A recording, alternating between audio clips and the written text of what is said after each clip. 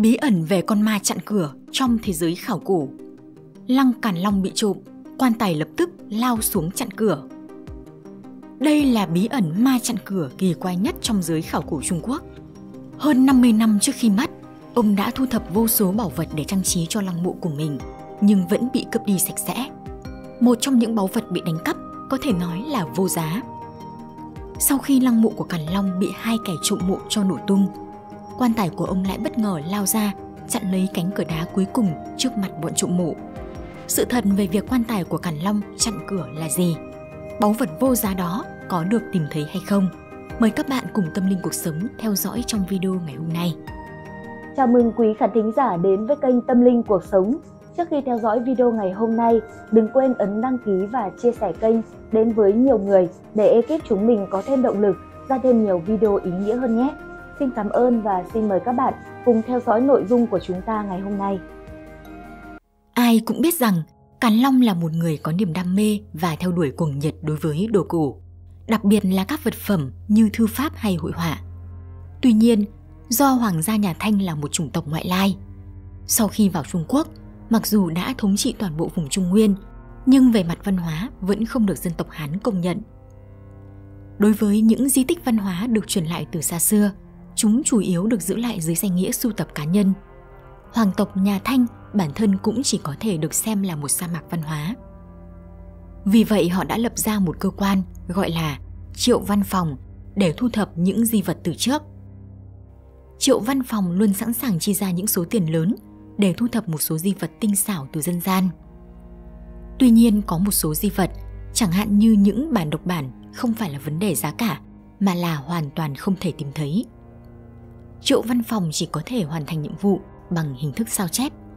Dù Khang Hy và Ung Chính có một số yêu cầu về thẩm mỹ nhưng không nhiều, nhưng đến thời Càn Long thì mọi thứ đã khác. Càn Long là người có sở thích nghệ thuật gần như đạt đến mức điên cuồng. Vì vậy, ông đã sử dụng quyền lực chính trị để yêu cầu những người dưới quyền phải thu thập cho mình các di vật mà mình mong muốn. Thậm chí họ có thể hy sinh tính mạng để đạt được yêu cầu của nhà vua. Rõ ràng trước sự nguy hiểm đến tính mạng, giá trị của di sản văn hóa không còn quan trọng như vậy. Nhưng bằng cách này, chỉ cần là những di sản văn hóa chưa mang được vào lăng mộ thì Càn Long đều có thể thu thập được. Nhưng làm thế nào để Càn Long chứng minh với thế giới rằng mình đã từng sở hữu chúng? Dù sao thì một khi ông qua đời, những di sản văn hóa này rất có thể sẽ biến mất, không còn dấu vết. Để giải quyết nỗi lo trên, Càn Long đã nghĩ ra một phương pháp tuyệt vời, đó là đóng dấu. Phương pháp đóng dấu này có lợi đôi đường, bởi đầu tiên, bản thân con dấu sẽ không ảnh hưởng đến giá trị của di sản văn hóa, nên các hoàng đế trước đây cũng đã làm như vậy. Thứ hai là còn để chứng minh rằng di sản văn hóa này đã từng thuộc về mình. Vì vậy, Càn Long bắt đầu mở chế độ đóng dấu trên các di sản văn hóa. Nhưng ngay lập tức, một vấn đề khác lại đến với ông. Một số di sản văn hóa quý giá, chẳng hạn như bản sao của Lan Đình Tập Tự, khi đến tay Càn Long đã có hơn 100 con dấu được đóng. Việc tự mình đóng thêm con dấu dường như chỉ làm tăng thêm số lượng mà không có bất kỳ sự khác biệt nào. Càn Long luôn cảm thấy mình là người đặc biệt nhất, vậy nên ông đã tìm một con dấu lớn nhất và đóng lên đó để nổi bật hơn cả 100 con dấu trước đó. Đồng thời Càn Long cũng đóng thêm 8 con dấu nhỏ lên trên. Tất nhiên, nếu mỗi con dấu đều có cùng một chữ ký thì thật sự cũng rất tầm thường. Vì vậy, Càn Long đã tạo ra những con dấu khác nhau để đại diện cho bản thân.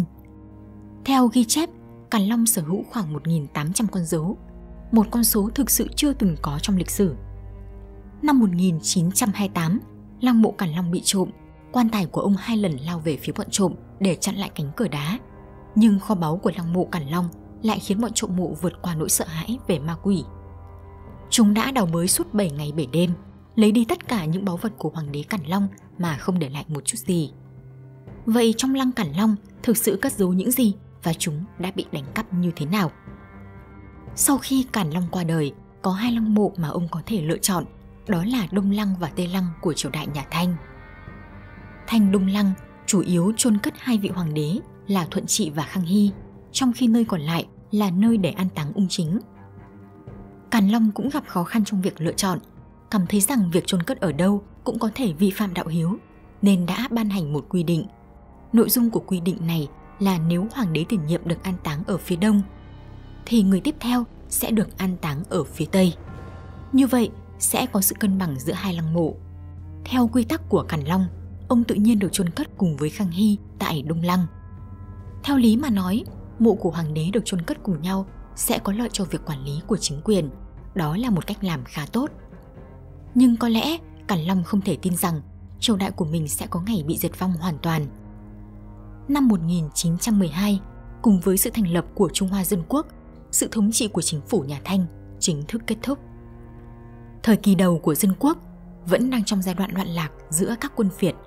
Trong số đó, có một người tên là Tôn Điện Anh đã tìm vào khu lăng mộ Thanh Đông Lăng. Khi đó, chính phủ dân quốc đã sắp xếp cho Tôn Điện Anh đến Hà Bắc để tiêu diệt bọn cướp. Lãnh đạo của bọn cướp này tên là Mã Phúc Thiên, dẫn dắt một nhóm người từ nơi khác đến định cư ở Hà Bắc. Tuy nhiên trong bối cảnh lúc bấy giờ, cuộc sống của bọn cướp cũng rất khó khăn. Dân chúng nghèo đến mức không có gì, lại phải chi rất nhiều tiền để nuôi sống một đám đông như vậy, thì làm sao họ có thể kiếm sống được đây? Một tay sai của Mã Phúc Thiên đã gợi ý rằng họ hãy đi đánh cắp bảo vật tại khu lăng mộ thành Đông Lăng. Bên trong chắc chắn có rất nhiều trang sức. Mã Phúc Thiên vừa nghe những lời này thì thấy đây quả thật là một cơ hội làm giàu. Vậy nên ông ta quyết định sẽ đi đánh cắp mộ của Từ Hy Thái Hậu. Thần không may, nhóm của họ đã tìm kiếm suốt nửa ngày trong địa cung mà vẫn không thể tìm thấy lối vào. Chỉ mang đi được một số trang sức trên bề mặt của địa cung. Mặc dù không thu hoạch được nhiều, nhưng những trang sức trộm được cũng đủ để bọn cướp sống một cuộc sống no đủ. Sau khi nghe tin này, Tôn Điện Anh cũng nghĩ đến một cách tốt để giải quyết vấn đề quân lương cho quân đội của mình, đó là đi trộm thành đông lăng. Tôn Điện Anh trước tiên đã lấy cớ trừ gian để tiêu diệt toàn bộ nhóm của Mã Phúc Thiên – sau đó lại cho người phong tỏa lối vào ngôi mộ, dẫn theo hai vạn binh lính cùng vô số thuốc nổ vào thành Đông Lăng. Bởi Tôn Điện Anh nghĩ rằng nơi có giá trị nhất trong Đông Lăng chính là mộ của Tử Hy và Càn Long. Năm 1928, Tôn Điện Anh đã mở cửa lớn mộ Càn Long. Tuy nhiên, tại cửa vào địa cung, nhóm trộm mộ này lại gặp một chuyện kỳ lạ khiến tất cả mọi người đều nghĩ rằng Càn Long sắp hiển linh. Ban đầu mọi người đều không thể mở được cánh cửa ngôi mộ kín này sau khi khó khăn lắm mới mở được cánh cửa lớn, họ lại phát hiện ra quan tài của Càn Long đang chặn ngay ở cửa. Bạn có tin trên thế giới có hiện tượng ma chặn cửa hay không?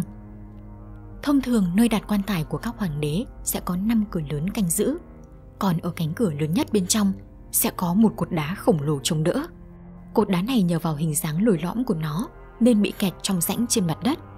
Vì vậy bất kể lực bên ngoài như thế nào cũng rất khó để mở cánh cửa đá này. Phương pháp của Tôn Điện Anh để xử lý cánh cửa đá rất thô bạo. Hắn trực tiếp dùng một khúc gỗ lớn để đập mở. Những cánh cửa đá trước đều được mở bằng cách này, nên Tôn Điện Anh không nghĩ nhiều mà sử dụng khúc gỗ lớn với cánh cửa đá cuối cùng. Tuy nhiên lại không có tác dụng. Khi phương pháp thủ công không hiệu quả, Tôn Điện Anh lại sử dụng công nghệ cao hiện đại, đó là thuốc nổ.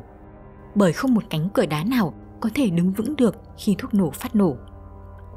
Nhưng ngay khoảnh khắc cánh cửa mở ra, tất cả mọi người đều sửng sốt khi thấy một chiếc quan tài đang tiến về phía mình. Sau khi quan sát kỹ lưỡng, họ mới phát hiện ra đây chính là quan tài của vua Cản Long. Ngay lập tức, tất cả mọi người đều nói với nhau rằng vua Cản Long đã hiển linh rồi. Mặc dù lúc này mọi người đã không còn sợ hãi quyền lực hoàng gia nữa. Nhưng nỗi sợ hãi đối với ma quỷ thì vẫn mãi mãi tồn tại. Vì vậy có người bắt đầu chạy trốn ra ngoài. Nhưng làm sao Tôn Điện Anh có thể từ bỏ bảo vật sắp sửa nằm trong tay mình? Hắn cũng sợ hãi, nhưng vẫn có thể dùng súng trong tay để ép buộc người khác mở quan tài. Cứ như vậy, quan tài của Càn Long đã được mở ra cùng với hai quan tài của các hoàng hậu và ba phi tần. Vì vậy, tại sao quan tài của Càn Long lại xuất hiện chèn vào cửa ra vào? Thực ra lúc này, năng mộ đã bị ngập nước khá nghiêm trọng. Dưới tác động của nước, quan tài của Càn Long đã nổi lên và chèn vào cửa ra vào. Sau khi tìm kiếm bảo vật trong nước, cuối cùng đội quân của Tôn Điện Anh đã lục soát ra được hơn 20 chiếc hộp báu vật. Trong đó còn bao gồm một chiếc răng của Càn Long. Điều này cho thấy mức độ nghiêm trọng trong hành động trộm mộ của Tôn Điện Anh. Hơn một tháng sau khi đánh cắp lăng mộ Càn Long, cả nước mới biết đến hành động xấu xa của Tôn Điện Anh. Ngay lập tức, mọi người đều đứng lên chỉ trích và yêu cầu chính phủ dân quốc phải có câu trả lời. Tưởng dưới thách chịu áp lực từ dư luận dự định xử tử Tôn Điện Anh để xoa dịu cơn phẫn nộ của nhân dân. Để cầu xin giữ mạng, Tôn Điện Anh chỉ còn cách mang ra những báu vật đã đánh cắp với hy vọng tưởng giới thạch sẽ vì giá trị của những báu vật này mà tha cho mình. Trong số đó có một bảo vật mang tên Cửu Long Kiếm, có thể nói là vô giá. Truyền thuyết cho rằng chuôi của Cửu Long Kiếm được làm bằng vàng nguyên chất, còn vỏ kiếm được làm từ da cá mập quý hiếm. Trên đó còn được gắn đầy các loại hồng ngọc và ngọc bích khác nhau. Họa tiết của chín con rồng vàng được chạm khắc sống động như thật, thể hiện giá trị thủ công tuyệt vời. Khi đó Tôn Điện Anh đã giao thanh kiếm này cho Đới Lạp, hy vọng ông ta sẽ chuyển giao cho tưởng dưới thạch. Nhưng Đới Lạp không thể trực tiếp đưa, mà tạm thời để thanh kiếm này tại nhà của Mã Hán Tam để bảo quản. Không ngờ rằng Mã Hán Tam lúc ấy lại rơi vào tay người Nhật. Để bảo toàn mạng sống, ông ta đã giao nộp lại thanh cửu long kiếm. Nhưng thanh kiếm cũng không ở lại trong tay người Nhật lâu mà nhanh chóng lại quay về tay Đới Lạp. Năm 1946, Đới Lạp mang thanh kiếm lên máy bay để đến Nam Kinh, nhưng máy bay đã gặp nạn. Tất cả mọi người trên máy bay đều thiệt mạng.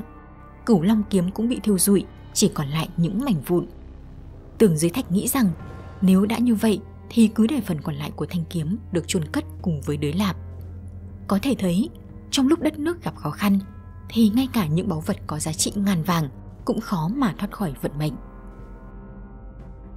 Đừng quên đón xem thêm nhiều video về những tấm gương tu học Phật giáo, sự kiện tâm linh bí ẩn và những lời tiên tri hấp dẫn từ tâm linh cuộc sống vào 8 giờ tối mỗi ngày bạn nhé.